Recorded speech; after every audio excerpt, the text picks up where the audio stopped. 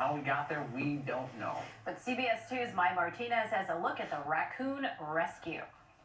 I came over here and saw a rac- raccoon stuck in a drain. It was an unusual call for the Zion Public Works Department Thursday. A rotund raccoon wedged tightly into a sewer grate. The grate sits right here. He was actually pinched in this little tiny hole.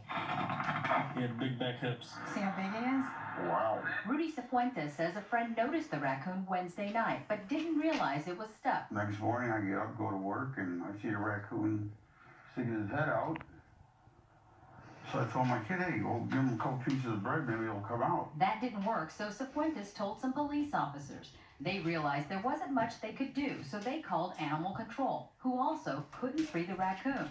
So they called the Public Works Department. He was stuck right here. He still got fur in there. Have you ever seen a raccoon that big? No. He's, he was a Goliath. Any idea like how he got in there? That will always remain a mystery.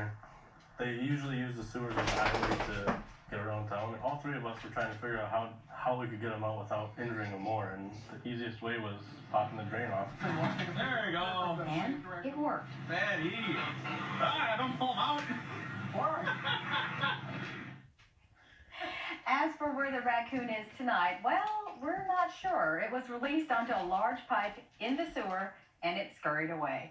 So, Robin Erica, we probably should be bracing ourselves now for a lot of rotund raccoon sewer sightings, I'm Yeah, sure. and it might be that he was a she, you think, I perhaps? don't, they don't know if it's a girl or boy. Maybe it was pregnant. Pregnant? Yeah. I don't. There was a lot of carbs in that. But they were Some feeding, they kept toast. feeding it. It's like, in his you're not going to extricate this raccoon if you No, keep feeding it carbs. They found the way to his or her heart through the stomach. Yes, so. they did. Uh, as hopefully, many people did. He or she has learned her lesson. Yes. Be rescued again. well, I don't know. You get a lot of free food, so maybe she'll get stuck again, or he'll get stuck again. Smart thing. yes.